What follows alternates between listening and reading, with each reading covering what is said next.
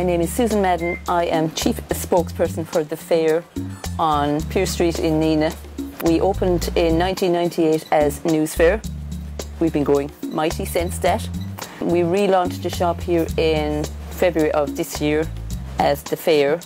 We sell gifts and cards and newspapers, ice cream, banners, balloons, for all occasions. We value all our customers who have been coming to us for years and years and they always come back because they seem to like our customer service. We have a loyalty card system for our cards. We also do that with magazines so plenty of our customers appreciate that and come back.